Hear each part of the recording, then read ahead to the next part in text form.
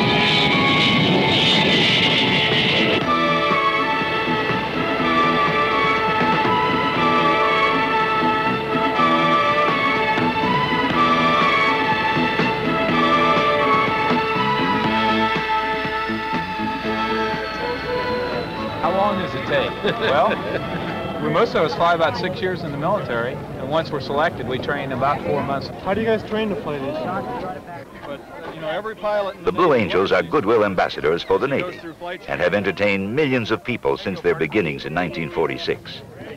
Their audiences think of them as men who spend most of their time in the sky. But actually, 90% of the job is done on the ground, meeting people, visiting schools and hospitals, getting involved in the communities they visit. Okay, here you go. This. While the Blues meet people before and after the show, it's still the flight demonstration that brings out the crowds. Glad you came out. For the Blue Angels, it's the opportunity they want to be able to demonstrate their professionalism as pilots. Like the show?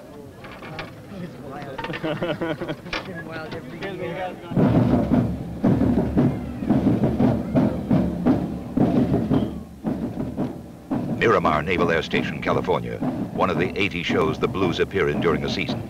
The crowd is expectant. They know that for the next several minutes, they will be spectators to the ultimate in formation flying.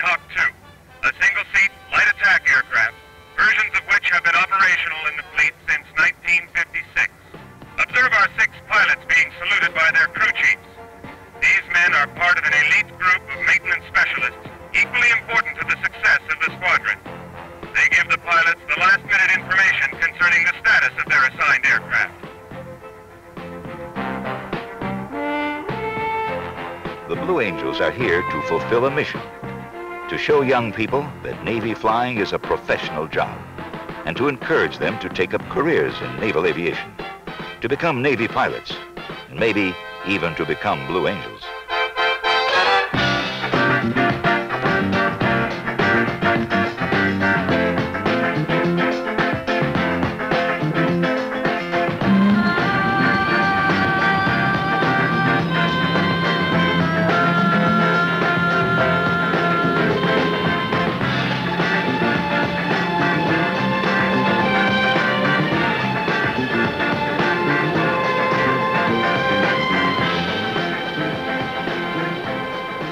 Hundreds of hours of practice have gone into this flight demonstration, day after day in the air, doing it over and over again.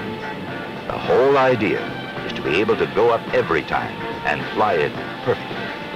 That's what the Blue Angels are all about.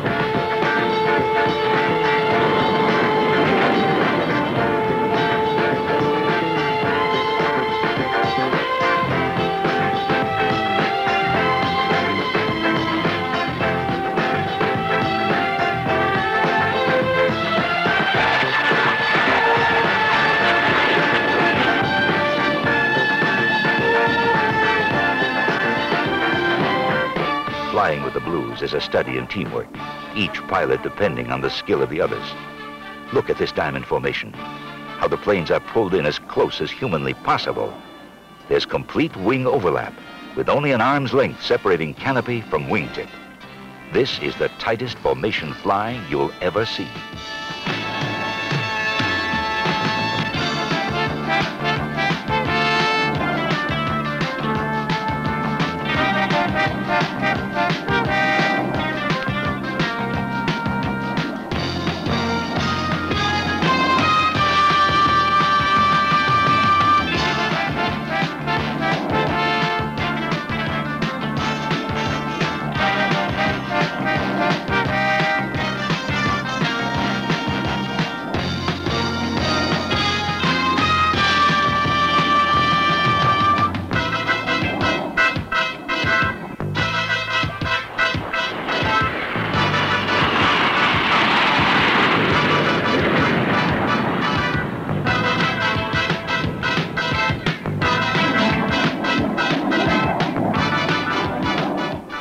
Solo takes the same degree of precision as the diamond pilots. But your main focus is on the timing of the maneuver. One second of error, just one, and the whole maneuver will be shifted away from the view of the audience by an eighth of a mile.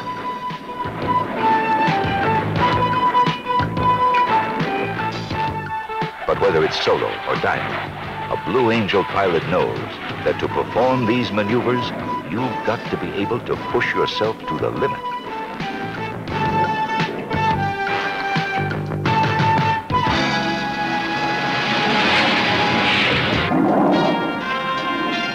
Along with teamwork, you've got to have concentration.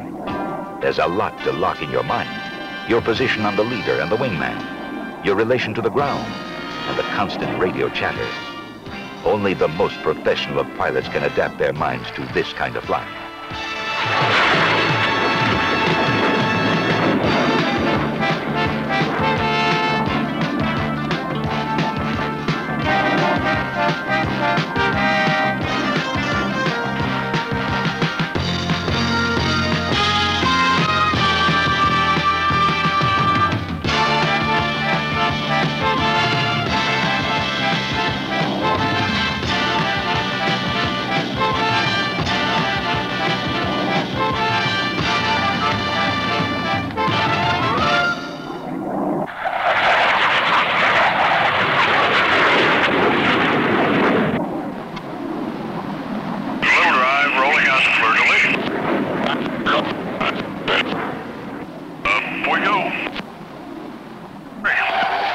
This is what it's like to fly with the Blues. What they do and the way they do it is something you never tire of watching. A perfect blend of man and machine that is poetry in motion, a ballet in the sky.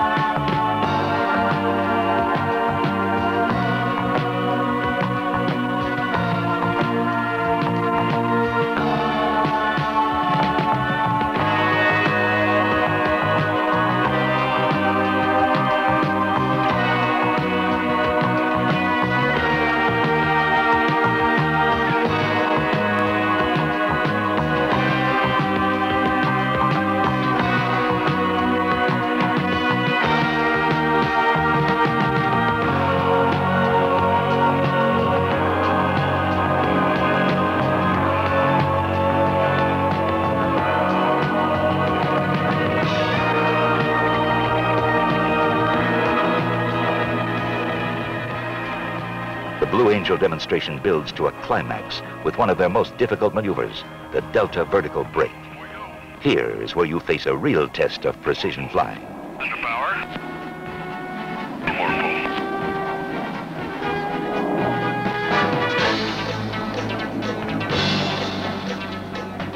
Up you go to 8,000 feet and into the front half of a loop.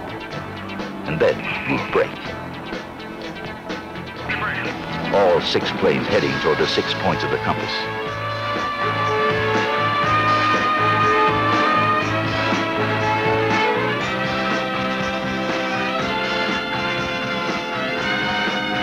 Put up on a mile. You're up to 500 miles an hour. Power rolling out. You go into a half Cuban 8 reversal turn. Now, all planes are heading back toward the center point, coming from the six points of the compass. If it's right, you'll have that hit effect. All six planes crossing each other at minimum separation. You'll accelerate until you're closing in at a thousand miles an hour. This is it. The six-point cross. You live, work, and train with a group of men trying to achieve a goal.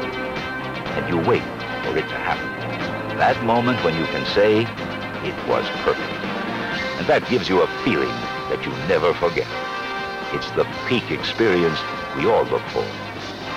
That's the portrait of the Blue Angels.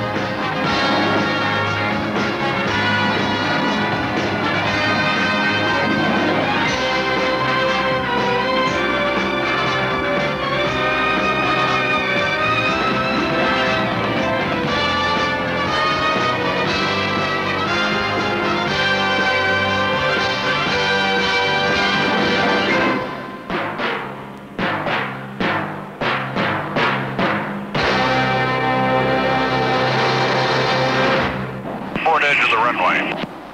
It'll probably be a little bit longer. That's the power. Three, uh, 340 for 300. Five, 280. Before you go, smoke on. A quarter miles.